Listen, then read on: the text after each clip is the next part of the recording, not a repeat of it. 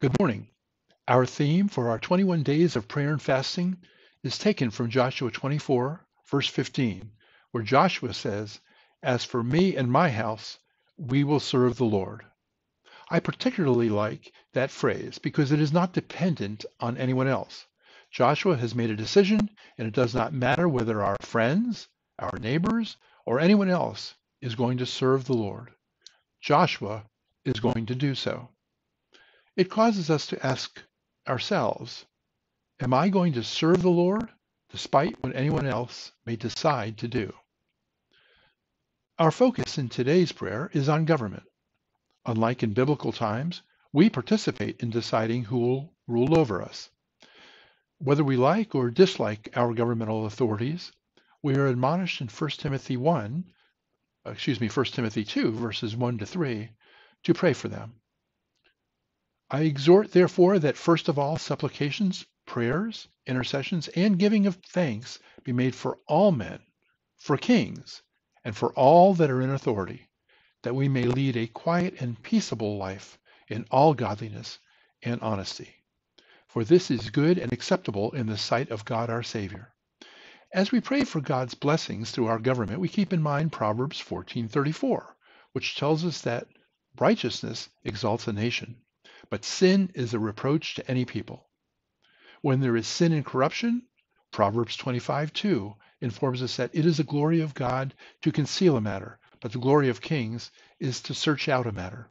We want a king, a government, to find corruption and expose it so that the light of truth can be uh, available to us, so that the corruption can be removed. Daniel 2, verses 20 to 22 reads, Daniel said, May the name of God be blessed forever and ever, for wisdom and power belong to him. It is he who changes the times and the periods.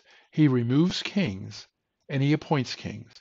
He gives wisdom to wise men and knowledge to people of understanding.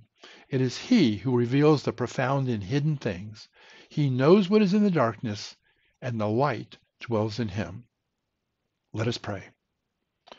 Our God, your word informs us that it is you who allows our governmental leaders to rule over us, whether they be executive officials such as our president, governor, mayor, sheriff, and the cabinet and all the administrative agency leaders, our legislative officials such as our state and federal senators and representatives, and our judicial officials, including the state and federal Supreme Courts, all of the lower court just judges and magistrates. You can raise them up or you can remove them in an instant. We pray for all of those in authority that you draw them by your Holy Spirit and convict them of their need to turn themselves over to you. We pray that they turn to you and seek a personal relationship with you as their Lord.